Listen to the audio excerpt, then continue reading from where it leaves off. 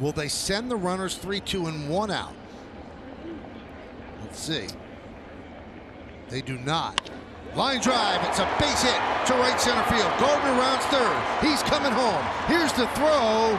Not in time. It's an RBI single for Hicks. Yankees on the board. They lead 1 0. Really good piece of hitting with runners in scoring position.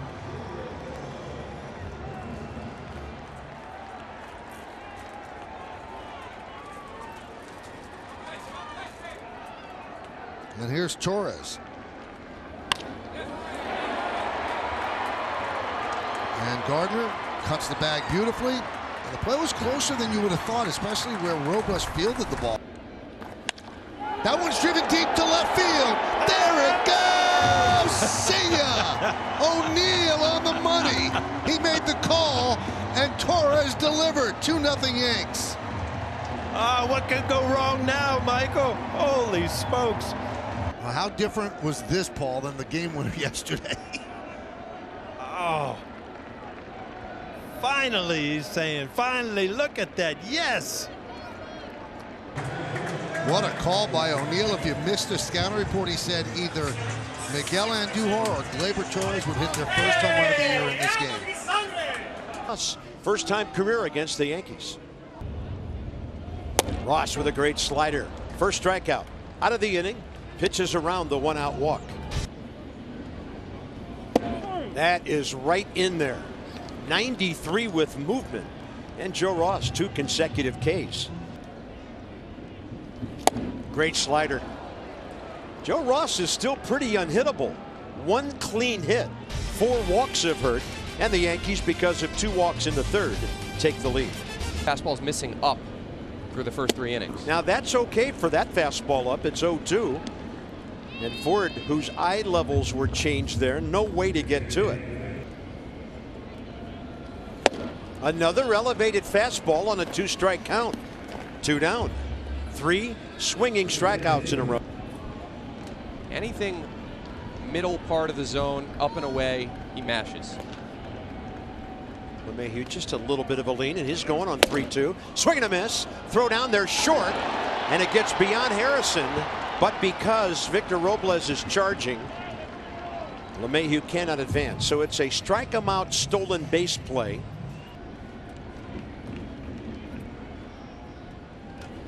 That's a run back fastball that'll strike him out. So Joe Ross threw seven, a single run on two hits. Hasn't walked anybody in a while, and he is dealing now. Discomfort in his right lat going into this outing. Schwarber gets one high in the air to right. Fair. See you later. It wasn't a bat toss. It was more like a microphone drop. And he ties the game just like that. Kyle Schwarber has three home runs on the season, and all three of them have been enormous. Talked about it. Foot down early, fastball up. He knew it. Boy, did he know it. Look at Aaron Boone's reaction over the dugout. He knew it. Turn and burn. Second level. Just like that. Mother's Day has totally changed complexion. I just want to wish everybody a happy Mother's Day. Um, I want to wish my mom, especially, you know, a happy Mother's Day. You know, I wouldn't be in this position, you know, getting the chance to wear these pinstripes and, you know, be where I'm at in life without all your love and support. So thank you.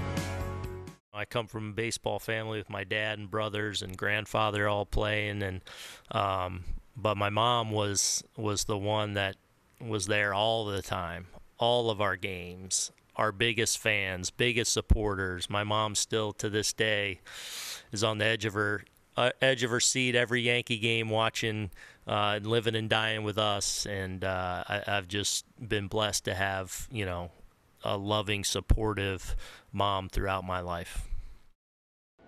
Hi, Mrs. Boone. We know you're watching, and your son's doing very well with a 17 and 16 record.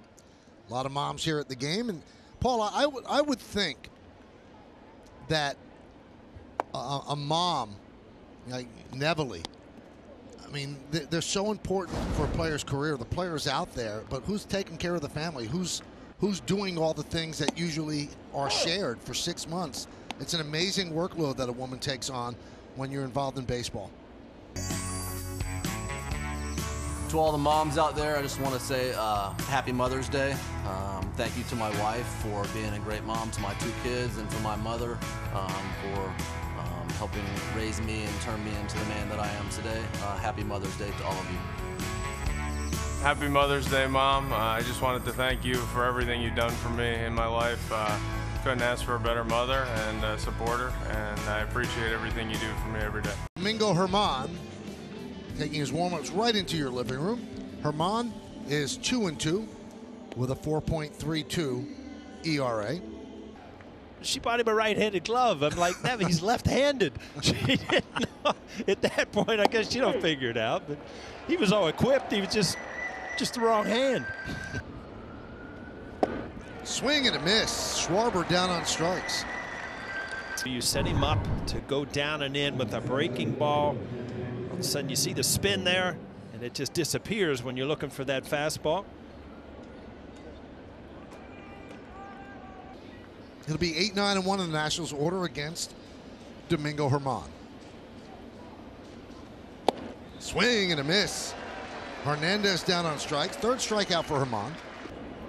He's won two World Series as a hitting coach, one with the Yankees and one with the Nats. As Bell goes down on strikes. Swing and a miss. Gomes down on strikes, one away. The, the batters are on the defensive. Trying for a one, two, three inning here. And he gets it. And he gets his sixth strikeout of the game against just one walk. So the Nationals go down in order. The end of four and a half. We are halfway through here in the Bronx. It's the Yankees one, the Nationals nothing. Hit sharply and through for a base hit, and the Yankees win. Three to two. Stanton with an RBI single. The Yankees walk it off two days in a row, and they complete an outstanding homestand, winning seven, losing two, and Stanton is. Yankees win. The Yankees win.